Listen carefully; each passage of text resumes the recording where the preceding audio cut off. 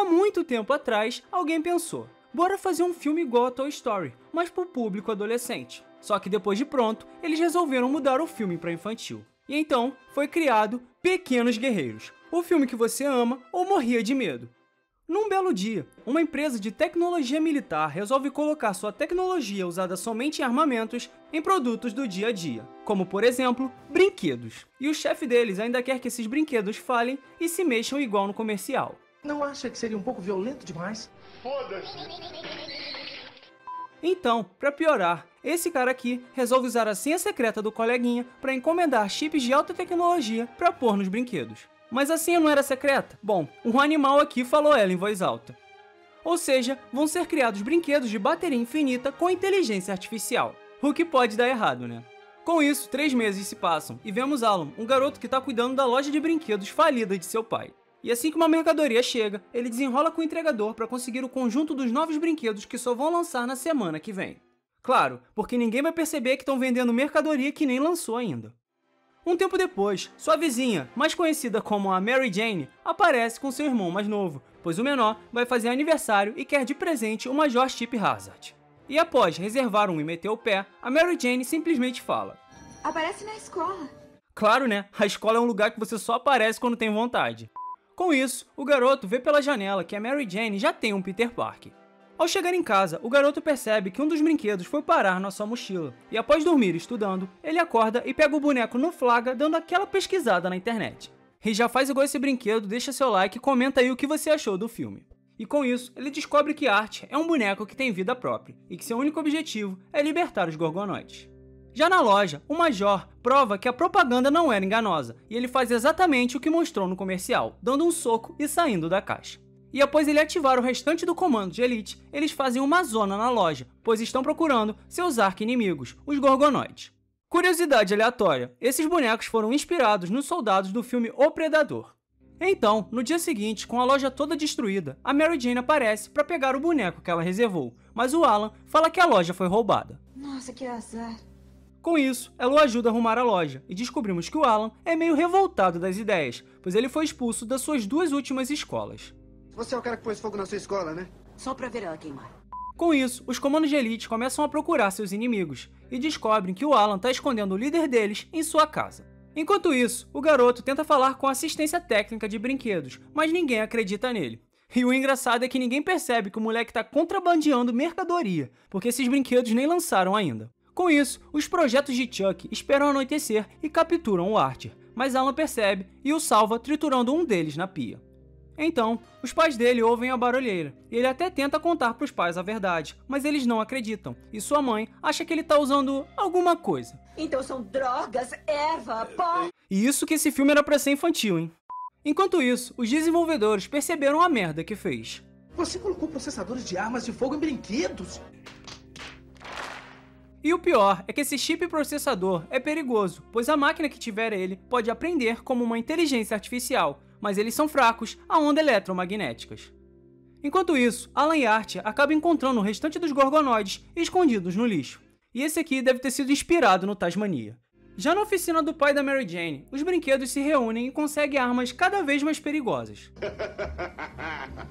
Com isso, os soldados grampeiam a ligação do Alan tentando desenrolar com a Mary Jane e descobrem que ele está escondendo todos os gorgonoides em sua casa e que o garoto tá doido para talaricar alguém. Então, o filme que definitivamente não é infantil começa a ficar bizarro, porque os brinquedos dão uma de Chuck e invadem a casa da Mary Jane, sequestrando seu irmãozinho e dando sonífero para os pais dela. E em seguida, vemos a clássica cena que traumatizava as crianças na sessão da tarde. Os bonecos acabam achando as Barbies na Mary Jane, Olá, boneca. E nisso, eles usam o chip do soldado triturado para criar novas Barbies soldadas bizarras. E ao chegar de um date com o um namorado, a Mary Jane entra no quarto e percebe que deveria ter escutado o Woody quando ele dizia: Então brinque direito. E agora, tocando uma trilha sonora de rock que para mim não faz sentido nenhum, as bonecas capturam a Mary Jane. E com os gritos, o namorado dela até tenta ajudar, mas foge assustado caindo da escada.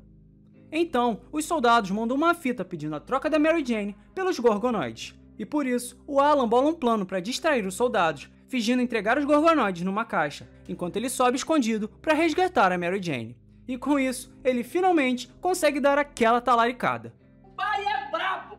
Porém, ao explodir a caixa, os soldados descobrem ser uma armadilha e vão atrás deles. E nessa perseguição, os brinquedos fazem uma zona na vizinhança, derrubando uma árvore e até mesmo um poste. E eu só não faço ideia como esses carrinhos são tão rápidos quanto uma moto. Achando ter destruído os soldados na fuga, Alan e Mary Jane voltam para casa e os pais da garota estão achando que foi o Alan que fez tudo aquilo. Mas assim que os desenvolvedores chegam, eles descobrem toda a verdade. Seus brinquedos quase mataram meu filho. Enquanto isso, o Major Chip Hazard, que foi o único sobrevivente, acaba encontrando o carregamento do comando de elite da Globotech. E nisso, ele ativa todos os soldados para atacar a casa do Alan.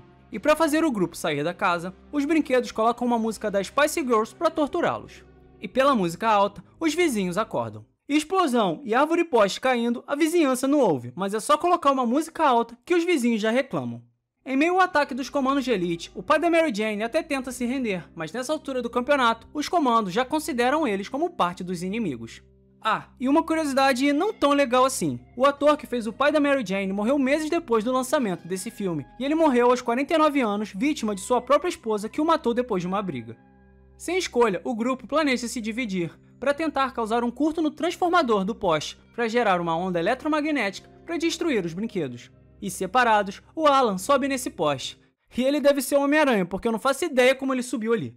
Entretanto, o Major de helicóptero tentou atrapalhar, então ele joga o brinquedo no transformador e acaba caindo de cima do poste sem nenhum arranhão.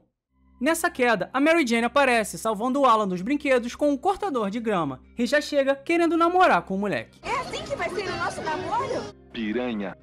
Com isso, o transformador acaba explodindo, liberando uma onda eletromagnética, destruindo todos os brinquedos ao redor.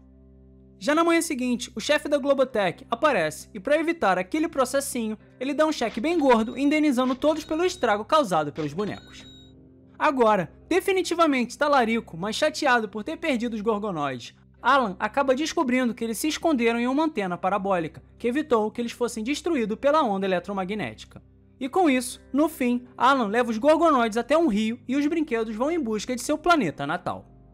E esse foi o final do filme.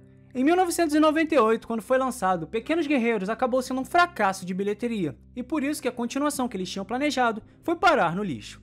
E mesmo com esse fracasso, esse filme começou a ter sucesso anos depois, passando várias vezes na TV aberta. E eu, particularmente, adorava esse filme na infância. Toda vez que ele passava na sessão da tarde ou na Record, eu parava para assistir. Ele e a Chave Mágica, que para mim são clássicos infantis que eu adorava.